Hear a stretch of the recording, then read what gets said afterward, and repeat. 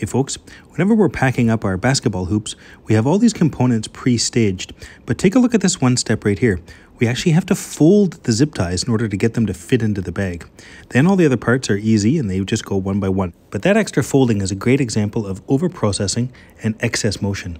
And so in order to remove that, we change the size of the bag. And now you can see the zip ties slide all the way in without any extra folding. It's a very small improvement that only saves us about one second per process. But since the bag didn't cost us anymore, and we do 20,000 of these per year, it all adds up. Thanks so much.